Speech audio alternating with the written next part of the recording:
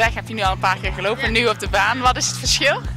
Nou, je loopt in hetzelfde stuk. En ik ben nu wel iemand die geniet van de omgeving. Maar ja, het loopt wel op zich makkelijker, want je hebt uh, minder last van heuvels. Je kan gewoon één stuk doorgaan. En je hebt rondetijden, dus je weet een beetje welke tijd je loopt. Dus dat is gewoon heel makkelijk. Ik zit bij uh, de NTB, in, uh, ja, Nederlandse Triathlonbond, en dan bij de duathlon selectie. En ja, ik doe dan ook ja, duathlons. En ja, ik, ja, mijn doelen dit jaar zijn dan, waren dan het EK en ook het WK in september. Dus ja, dit is zeg maar een beetje een subdoel. En, ja, een wedstrijdje gewoon, ja, die wel belangrijk is, maar ja, wel onder de EK's en WK's. Eigenlijk was het tactiek om gewoon de mensen die echt snel te starten gewoon te laten gaan. En dan zelf daarna achteraan te gaan. Maar Marion die liep wel heel hard, dus die kon je niet meer bijhouden. En maar gewoon een tweede groepje achteraan gelopen. En op een gegeven moment ging het al uit elkaar. Dus dan is het al gewoon uitlopen, zo hard mogelijk.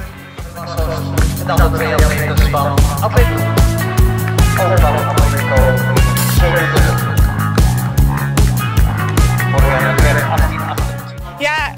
weet natuurlijk nooit wie er, ja, je weet wel wie er aan de start staat, maar nooit hoe ze, hoe ze het doen. Want ze kunnen ook ineens een supergoeie ja, wedstrijd lopen en uh, ineens heel erg gegroeid zijn of zo. Dus ja, ja je gaat altijd wel uit van uh, ja, top 3, maar je weet nooit welk plaatsje je behaalt. Dus ja.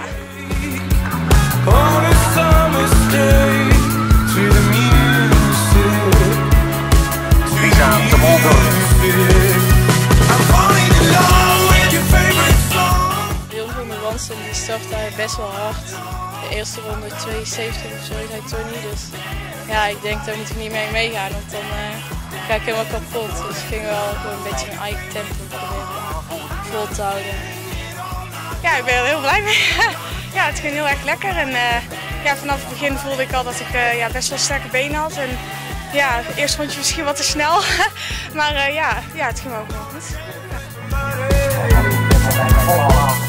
Ja, na drie kilometer was het echt wel heel zwaar. Dan uh, moet je wel even tegen jezelf zeggen, kom op, nu gaan we weer. En dan, uh, ja, en de laatste, laatste kilometer dacht ik wel van, dan nog een kilometer. Maar ja, dan moet je het echt doorheen zetten.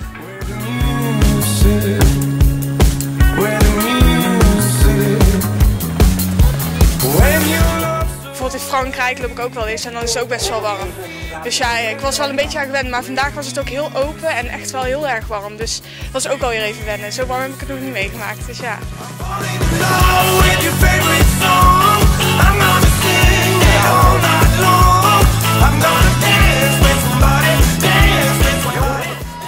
Nou, eigenlijk niet echt heel erg zwaar of zo, maar ja, Tony die zei dat je tussen drie en vier zoiets, dat hij dan wel zwaar zou worden. Dus ik denk, dan moet hij nou bijna komen. Maar het was ook niet echt heel erg veel uh, zwaarder.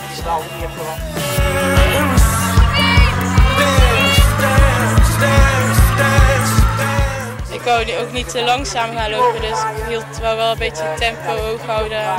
Dat uh, niet iedereen uh, op het laatste met een eindsprint nog uh, moest inhalen. Het ging op zich echt goed. Ik heb een PR gelopen, dus dat is altijd goed. Het was wel heel warm en het was wel zwaar voor de eerste keer op de baan. Dat zeker.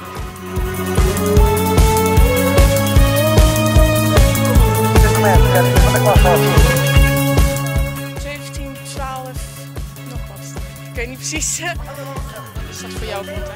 Um, ja, dat is gewoon een goede tijd. Dat is wel uh, ja, wat ik ook wel in me zou moeten hebben. Dus ja, ja, wel goed. Ook met deze omstandigheden, denk ik. Ja, best goed eigenlijk. Ik wil nog wel vaker op 5 lopen. Super, ik, bedoel, ik ben nog B1 en ik haal nu derde plaats bij A's. Dus ik heb nog vier jaar om het te winnen. Dus uh, ik ben zeker tevreden. Ja, absoluut.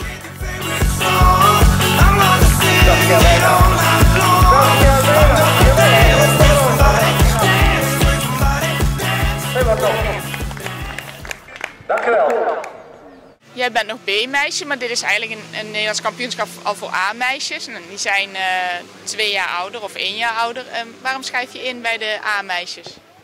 Nou ja, dit uh, gaat pas vanaf de A-meisjes eigenlijk, dit kampioenschap 5 kilometer.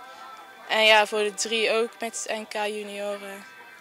Straks eind juni. Dus ja, dan moet je wel bij de A meedoen als je langere afstanden wil doen. En komen er ook nog een paar Nederlandse kampioenschappen bij eh, de B-meisjes. Wat, wat ga je daar lopen? Nou, eigenlijk uh, straks bij de NK Junioren loop ik ook bij de A's. Dan loop ik de 3 kilometer. En hoogstwaarschijnlijk loop ik de 500 ook. En dat is wel bij de meisjes junior B.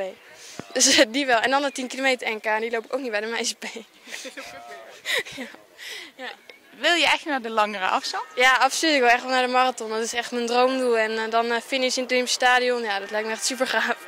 Ja. Hoe is die droom ontstaan? Uh, ik heb eigenlijk al vanaf dat ik zes was, heb ik hem gehad. Dus sinds ik atletiek doe, vond ik lange afstand altijd al het leuk. Dus ja, die is wel echt wel heel, heel oud.